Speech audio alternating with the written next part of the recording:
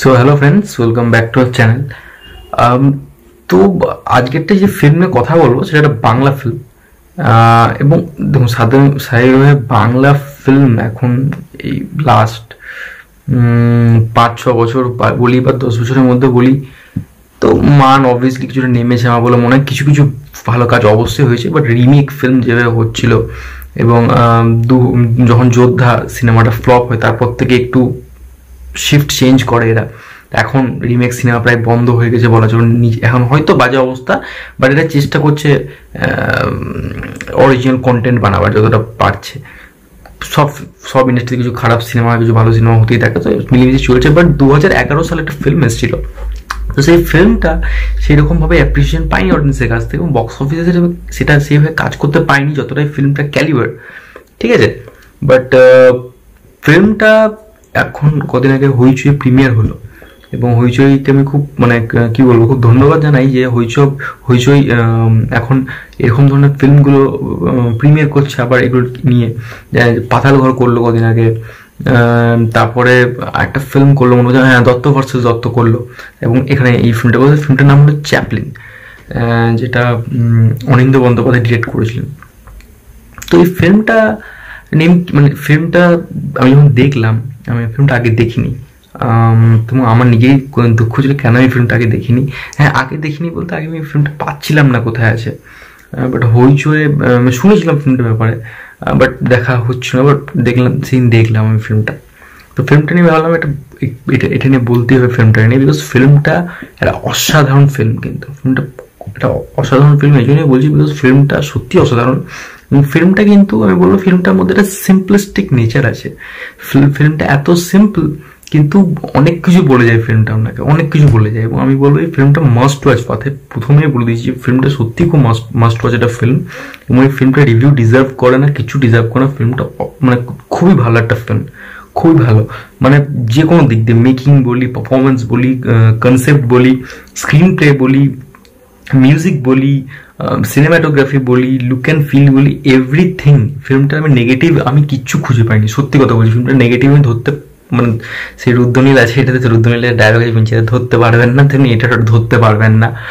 যাক jokes part ফিল্মটা তো খুবই ফিল্মটা বেসিক্যালি বাবা এবং ছেলের সম্পর্কে ইকুয়েশনে ডিল করে ফিল্মটা এবং এই ফিল্মটা থেকে আপনি মানে কী বলব মানে একটা আর্টিস্ট একটা আর্টিস্টের যে খিদেটা থাকে এবং একটা আর্টিস্ট তো পয়সার জন্য কাজ করে না, সে নিজের কি বলব, তার কত ক্যালিবার তার, সেটা দেখানো তার কাছে মেন প্রায়োরিটি থাকে এবং তার ছেলের সাথে সম্পর্ক এবং সমাজ তাকে কীভাবে সমাজের সাথে সে কীভাবে ডিল করে সমাজে এবং ফাইন্যান্সিয়াল ক্রাইসিস এভরিথিং এই ফিল্মটা দেখিয়েছে এবং এই ফিল্মটার মধ্যে একটা সুন্দর কি বলব আমি একটা একটা খুব ভালো ভাইব আছে আমি বলব। এবং রুদ্রনীলের যে ক্যারেক্টারটা আছে, তো ওই ক্যারেক্টারটা যে মানে বংশী হ্যাঁ বংশী ক্যারেক্টারটার নাম, তো ও আর ওর ছেলে একটা জায়গায় থাকে এবং একটা ব্যান্ড পার্টির সাথে যুক্ত। তো ওরা বিভিন্ন বিয়ে বাড়ি হোক বা জন্মদিনের পার্টি হোক, বিভিন্ন পার্টি পার্টিতে গিয়ে ওরা অ্যাক্ট করে এবং ও কী করে চ্যাপটিনের অ্যাক্ট করে এবং লোককে হাসায়। তো এটাও কাজ তো এটার জন্য খুবই কম টাকা পায় এবং খুবই মানে কি বলব মানে খুব কষ্টে তারা দিন দিন যাপন করে, কিন্তু ওদের অ্যাক্টিংয়ে যখন ওদের দেখবেন, ওরা কিন্তু কখনো কষ্ট মনেই হবে না। সবসময় মুখে হাসি থাকে। ছেলেরও এবং বাবার মার মধ্যে একটা কোড ল্যাঙ্গুয়েজ আছে। কি আমার ঠিক এই মধ্যে মনে পড়ছে না। তো যেন শব্দগুলো। তো ওদের ল্যাঙ্গুয়েজ কোড ল্যাঙ্গুয়েজ খুব সুন্দর। মানে এত মিষ্টি সিনেমাটা একটা। খুবই সুইট একটা ফিল্ম এবং বাচ্চাটা এত সুন্দর অভিনয় করেছে। বাচ্চাটির নাম সোহম। খুব ভালো অভিনয় করেছে চাইল্ড অ্যাক্টারটা খুব ভালো অভিনয় করেছে। বাচ্চাটা খুব ভালো এবং রুদ্রনীল ঘোষ। মানে রুদ্রনীল ঘোষ যে কত ভালো একজন অভিনেতা। এই ফিল্মটা দেখলে বোঝা যায় মানে অসাধারণ অভিনয় করেছে, যেভাবে ইমোশনাল সিনসে সে অ্যাক্টিং করেছে না, অসাধারণ অ্যাক্টিং করেছে। যে সময়টাই ওই দুটো সিন বলো পার্টিকুলারলি আর অনেক সিন রয়েছে। আর হ্যাঁ এই সিনেমাটা কি বলছি যে প্রত্যেকটা সিন না, প্রত্যেকটা সিন পাবো একটা ম্যাজিক ক্রিয়েট হয়েছে একটা সিনে মানে সিনগুলোর মধ্যে একটা জান আছে। সিনগুলোর মধ্যে জান ঢেলে ডিরেক্টর মানে জান হয়েছে মিউজিক খুব ভালো। সিনটাকে শুটিংও করেছে ভালো এবং অ্যাক্টিং এই সিনেমাটা মেন হচ্ছে অ্যাক্টিং বস অ্যাক্টিংটা ওয়ান অফ দ্য মেন অ্যাক্টিংটা অসাধারণ হয়েছে ফিল্মটা অ্যাক্টিং প্রত্যেকের, আমি রুদ্রনীর বলি, বাচ্চা ছেলেটার বলি তারপরে যদি যে টিচারটা হয়েছে, ওই মেয়েটির কথা বলি, বা আমি সৃজিৎ মুখার্জি রয়েছে এটা এটা, একটা রোলে তো ওই ক্যারেক্টারটা খুব ইম্পর্টেন্ট ক্যারেক্টার এবং ওই রোলটাও খুব ভালো করেছে সৃজিৎ মুখার্জি। এবং বাকি প্রত্যেকে দারুণ মির মির রয়েছে অ্যাজ একটা রোলে তো ওর অ্যাক্টিং ভালো, খুব প্রত্যেকের অ্যাক্টিং খুব ভালো। বেসিক্যালি ফিল্মটার উদ্যোগের উপর ফোকাস বাট প্রত্যেকটা ক্যারেক্টারকে স্কোপ দেওয়া হয়েছে এবং প্রত্যেকটা ক্যারেক্টার নিজের জায়গায় খুব ভালো অ্যাক্টিং করেছে, আমি বলব। তো একটা সিন আছে যেখানে ওর ছেলে একটা রোগ ধরা পড়ে ব্রেন টিউমারে তো ওখানে ও টাকাটা দেয়, টাকা দেয় ডাক্তারকে। এবং পাঁচ হাজার টাকা পেয়েছিল সে মুখার্জির কাছে পায় এবং তিনশো টাকা মিষ্টি কিনে ফেলে, সাতচল্লিশশো টাকা দেয়। তো ওইখানে ওই যখন টাকাটা দিতে যায়, ওখানে চোখে মুখের এক্সপ্রেশনটা দেখবেন। আর একটা সিন আছে যেখানে ও আর ও ছেলে মিলে পাউরুটি হয় না পাউরুটি? তো পাউরুটিটা ওর, ওদের খাওয়ার কোনো পয়সা নেই, তো খাওয়ার কাছে পয়সা নেই, তো ওরা কীভাবে পেট চালাবে? তো ওই পাউরুটিটাকে ওরা জলে ভিজিয়ে খায় লিটারেলি বলছে। আমি ওই সিনটা দেখবেন একবার। এবং ওরা ওই এমনভাবে খায় যেন ওটা ওরা মাংস খাচ্ছে। ওরা কথাবার্তাতেও বলে, নুন কম হয়েছে হাটটা আমাকে দিয়ে দিস। এরকম করে বলে ওরা লিটারেলি এবং ওইখানে ওই মেয়েটির, যে ওদের টিচার মেয়েটি খুব ভালো ইয়ে করেছে। তো ও আসে এবং ও দেখে, ও ওর মানে ও দেখে অবাক হয়ে যে কীভাবে এত হেসে খেলে জীবনটাকে পার করেছে। তো এটা একটা শিক্ষা যে লাইফ মাস্ট গো অন লাইফে যা হচ্ছে হোক লাইফটা চলতে থাকবে। শো মাস্ট গো অন তো সেটাই মানে এরা জীবনটাকে কত এনজয় করে কাটায়। এবং ছেলে, বাবা, ছেলে মিলে, এবং এরা একটা খুবই ভালো এবং এখানে রুদ্রনীলকে যেটা কমেডি একটা শো একটা শো হয় রিয়েলিটি শো যেটা হেড হচ্ছে কি শ্রী মুখার্জি।